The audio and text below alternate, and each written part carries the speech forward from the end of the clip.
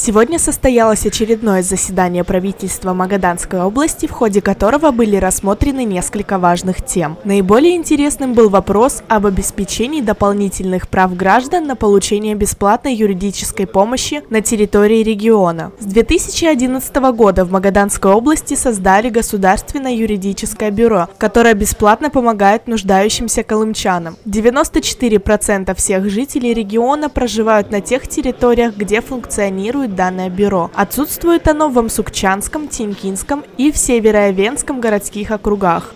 Что касается анализа лучших практик, а, то как раз-таки Свердловская область также была в числе 10 пилотных проектов, и 1 июня этого года мы встречались с коллегами и также а, анализировали те общие задачи, которые перед нами стоят, и основная вывод, что система достаточно стабильно работает, она эффективна, доверие населения к системе тоже а, достаточно высокое. И можно сказать, что по показателям охвата населения Магаданской области, если мы берем только федеральные категории и не берем наши региональные, то есть это более 14% а, населения охватывается этой помощью.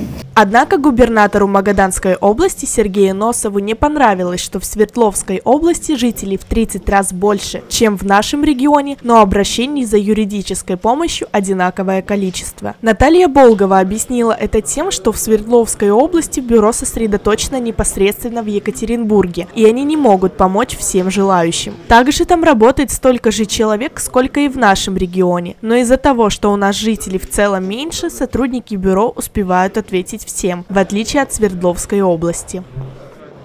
А вам не кажется ли, что проблем у, на, у наших жителей, наших жителей, проблем во взаимодействии с муниципалитетами, с региональными структурами, с федеральными структурами в 30 раз больше, чем в Свердловской области. Этим и объясняется значит, количество обращений, э, равное обращениям в Свердловской области, при численности в 30 раз меньше. Вы не задумывались над этим? Но руководитель Департамента административных органов Магаданской области настаивала на своем. По ее словам, в данном случае это просто показатель доступности в нашем регионе. Однако о какой доступности может идти речь, если во многих отдаленных поселках региона до сих пор есть большие проблемы с интернетом? Я так господином Кучеренко, э, он мне первый раз значит, дал отчет о наших МФЦ. Без слез слушать нельзя. Поэтому просчет доступности, значит, э, я не знаю, что вы э, вкладываете в это понятие. Можно по-другому значит, эту статистику перевернуть.